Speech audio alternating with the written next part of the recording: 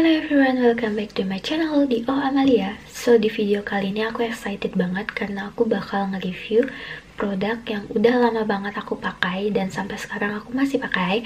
Uh, Mungkin kalian udah banyak, pasti kalian pada tahu produk ini Tapi mungkin dari sebagian kalian tahu tapi nggak pernah gunain produk ini. Jadi aku mau jelasin produk ini yaitu ini dia bedak MBK jadi pasti kalian tahu kan bedak MBK itu udah diproduksi dari tahun 1970 oleh PT Bahagia.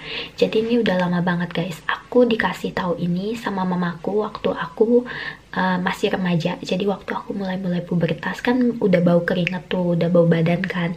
Jadi aku disaranin pakai ini daripada pakai deodoran.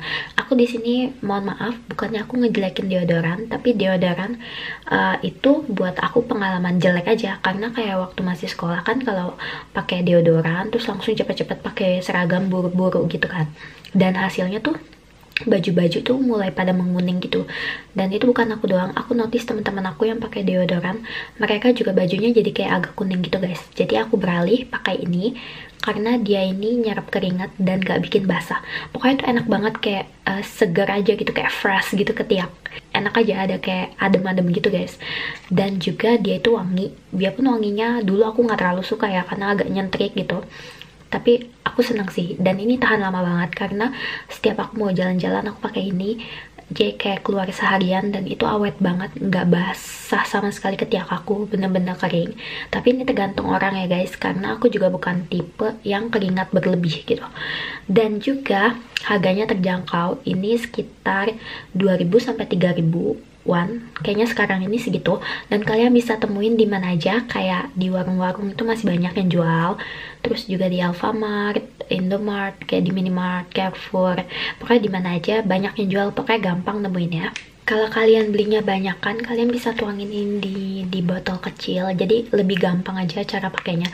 Karena kayak aku gini aku harus ngelipet ngelipet terus. Oh ya maaf banget ya aku tunjukin bungkusnya yang ini karena ini sisa MBK terakhir aku. Jadi mau nggak mau aku tunjukin yang jelek. Ini aku bakal tunjukin bubuknya. Uh, ini kelemahannya sih kalau bubuk ini ini kelemahannya sih. Jadi kayak berantakan gitu kalau kalau mau pakai. Tuh, tuh. Hmm. kayak bedak biasa aja gitu guys. Nah aku bakal tunjukin tuh pokoknya wanginya enak. Oh ya guys, dan juga MBK ini bagusnya. Dia itu nggak bikin ketiak hitam nggak kayak deodoran dia kan bisa membuat ketiak tuh lama-lama kulitnya berubah menghitam gitu kan. Tapi kalau MBK ini dia nggak ngebuat ketiak hitam sama sekali. Dan kalian bisa buktikan itu karena udah banyak review juga yang aku lihat yang pakai ini nggak membuat ketiak hitam sama sekali. Jadi kalian bisa coba ini kalau kalian suka By the way, dia juga punya dua varian kayaknya, yang ini dan satu lagi yang silver. Yang uh, ini tuh dua-duanya ini fungsinya sama, cuma beda keharumannya aja. Kayaknya yang silver itu wanginya lebih lebih tajam gitu dan ya mungkin kalian juga bisa ceritain pengalaman kalian waktu pakai MBK di komen di bawah ini. Kalian bisa share gimana pengalaman kalian pakai MBK kalian suka atau enggak? Uh, menurut kalian mempan atau enggak sih selama kalian pakai itu? Kalau di aku sih ini wanginya tahan awet banget.